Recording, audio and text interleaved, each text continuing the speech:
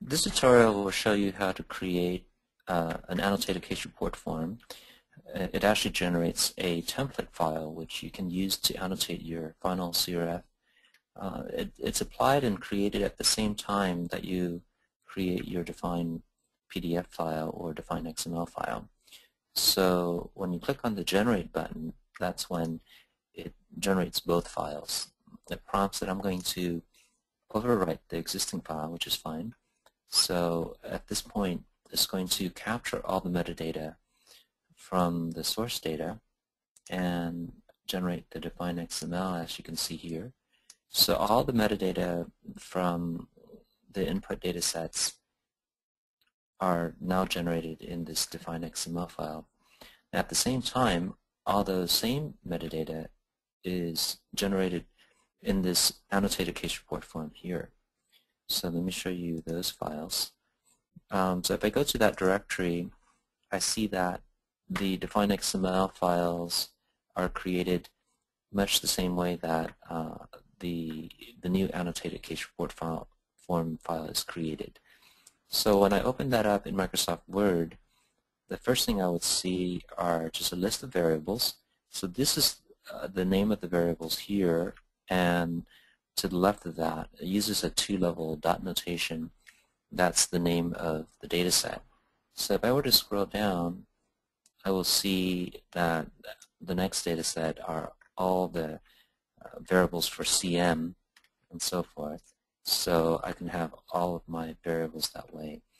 Uh, the value here is that you don't have to retype this uh, so that you don't have any typos or mistakes in, in getting your annotations done. So I'm going to select the one that I'm going to use. You can hold down the uh, Shift key if you like to select multiple variables and then you can go ahead and copy that and I'm going to now open up the actual blank case report form which I have here. Uh, this is another uh, file which I have all the, the case report form without any annotations. Now if you have this in a PDF format or other file formats you can export it as an image file and then insert it into this uh, um, Microsoft Word file. So if I were to go down to the uh, adverse event CRF here as an example and paste my annotated variables, these are the same variables that I had previously copied from the uh, template. So now each one of these appear as an object which I can then drag and place over the actual annotated um, location that I want it to appear.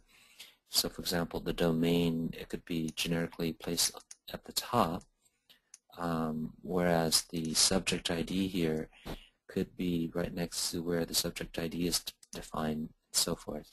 So the sequence variable and so forth.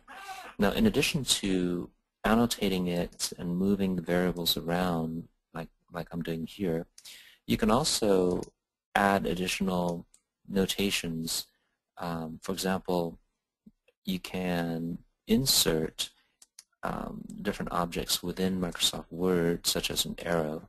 So I can say here that this is pertaining to this area here. So this is more exacting in that your particular annotation could have an arrow which could you know, note more exact exactly where that placement should be. In addition to arrows, you can insert other objects such as, for example, I'm going to do a curly bracket. There are many things you can do, but these are just examples where I can say, okay, curly brackets from here to here. So I'm going to move my arrow uh, to point to a different location now. So what this is indicating is that this annotated variable applies to this whole region, this whole area of where the adverse event is, um, is captured in the case report form. So once you have done this and you have all your notations done, you can convert this to PDF and have the final annotated case report form. The nice thing about it is that your variable names, uh, along with the data set that it belongs to, are all generated for you so you don't have to type this and you know possibly mistype it and have a, a mistake in, in typo. This is more exacting reflecting exactly uh, the same variable names that will appear in the define XML. Uh, so there's no um, th there's a one-to-one -one correspondence here.